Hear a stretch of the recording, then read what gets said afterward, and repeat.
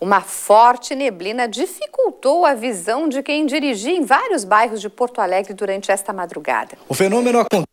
O ar frio não consegue circular devido a uma camada de ar quente, o que provoca. Bom, conforme a gente viu aí, né, tivemos problema com o áudio, mas às 5 horas da manhã o aeroporto Salgado Filho iniciou as atividades operando por instrumentos com, com visibilidade de apenas 800 metros. No entanto, nenhum voo foi prejudicado. E o que acontece esse fenômeno porque o ar frio não consegue circular, conforme estava explicando na matéria, devido a uma camada de ar quente que provoca alteração de temperatura na atmosfera. E segundo os meteorologistas, quanto mais cedo esse nevoeiro se forma, mais ele se eleva para se, mais tempo ele leva para se dissipar. Por isso, grande parte desta quarta-feira teve um céu encoberto, como se fosse chover, mas com tempo seco e sem precipitação. Em Porto Alegre, a máxima foi de 27 graus. Nós vamos ver agora se essa condição para neblina continua amanhã. Helena, olha, a previsão é que as condições sigam favoráveis à formação de nevoeiro, principalmente na faixa leste do Rio Grande do Sul. As próximas horas devem ser como ontem, com pouca visibilidade nos pontos mais altos aqui da capital. Na tarde de quinta-feira, o tempo permanece seco, novamente com marcas altas nos termômetros. Nas missões, a máxima supera os 30 graus. O próximo amanhecer terá algumas nuvens que se mantêm ao longo do dia na região metropolitana. Faz 27 graus em Porto Alegre. No litoral sul, o tempo também é parcialmente nublado. A mínima é de 15 em Rio Grande. A Serra Gaúcha terá grande variação térmica. Em Vacaria, a temperatura rapidamente vai de 7 a 23 graus. Céu claro na campanha. Pela manhã faz 14 graus em Santana do Livramento. E na fronteira oeste, quem ainda não guardou casaco pode guardar, porque amanhã faz 30 graus em Uruguaiana e a tendência é que as marcas subam ainda mais até o domingo. E uma cientista gaúcha criou um aparelho que permite a coleta de sangue de astronautas no espaço. A ideia, desenvolvida pelo Centro de Microgravidade da PUC, despertou o interesse de pesquisadores europeus que podem utilizar o dispositivo em estações espaciais internacionais. O aparelho foi criado por esta médica aeroespacial para permitir o acompanhamento da saúde de astronautas uma forma, digamos, substituta à coleta do sangue arterial. É o sangue arterializado do lóbulo da orelha. Isso tem uma aplicação direta no espaço, em estudos fisiológicos, na avaliação clínica de astronautas e também numa intercorrência, uma emergência médica que possa acontecer em voo, como na Terra para avaliar pacientes que estão uh, sob tratamento, especialmente para doenças do sistema cardiopulmonar.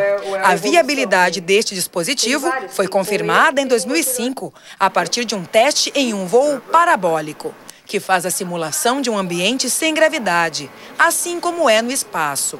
Nos voos, tu está flutuando e tu tem a possibilidade então de testar se o equipamento vai funcionar naquele ambiente ou não. E a gente provou que ele funciona e funciona muito bem para fazer a coleta de sangue do lóbulo da orelha.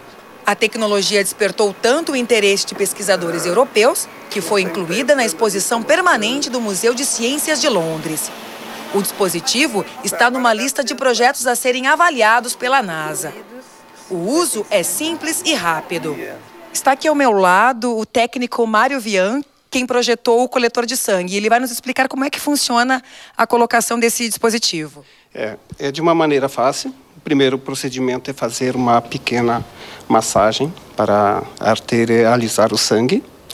E segundo passo, colocar o coletor, inserir aqui, girar, não é? já está furada a orelha, girar, cortar, cortar e coletar. Mas os seus benefícios não servem apenas para pacientes no espaço também para os que estão na Terra. A gente está buscando parceiros comerciais para tentar fazer a transferência de tecnologia desse produto, que a gente já tem a propriedade intelectual, e realmente, de repente, está possibilitando que seja, esteja ao acesso da população de uma forma geral.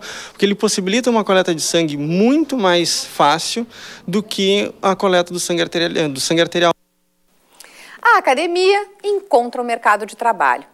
Até amanhã, estudantes universitários de engenharia da URGS podem buscar oportunidades em estágios em empresas através de uma feira. Camila entrou na Faculdade de Engenharia Ambiental da URGS ainda no início do ano.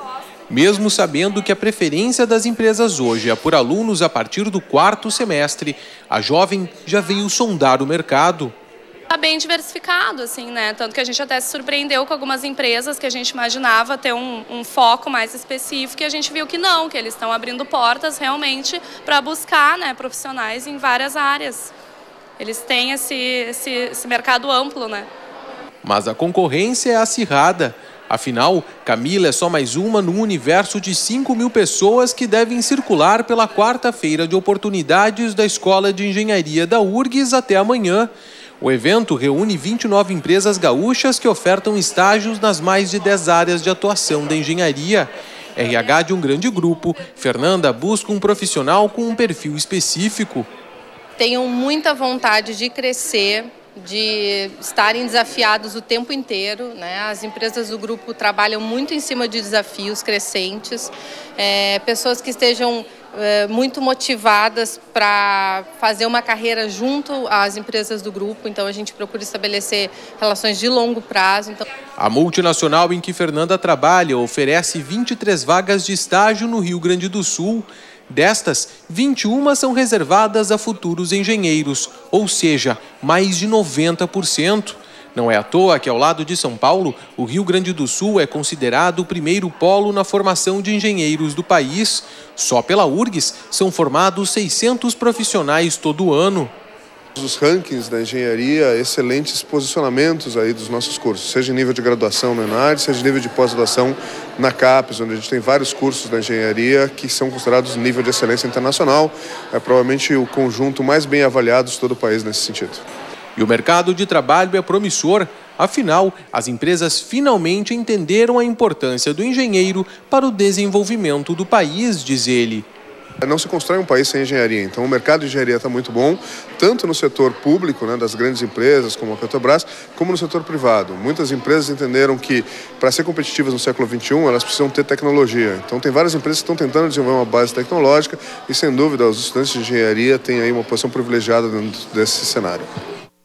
E antes de encerrar essa edição, uma última informação. A Câmara Rio Grandense do Livro anunciou hoje o nome dos escritores que vão concorrer ao título de patrono da Feira do Livro de 2014. Foram indicados Ayrton Ortiz, Aldir Schli, Celso Goodfriend, Cíntia Moscovitch e Maria Carpe. A Câmara vai disponibilizar 100 urnas para votação até o dia 9 de setembro. E participam da escolha diretores e associados da entidade, patronos e representantes da comunidade cultural do Estado. A Feira do Livro ocorre de 31 de outubro a 16 de novembro. E o Jornal da TVE termina aqui. Mais informações você acompanha nesta quinta-feira no TVE Notícias e no Jornal da TVE, primeira edição, ao meio-dia e trinta. Nós voltamos às sete e meia da noite. Uma boa noite para você. Até amanhã.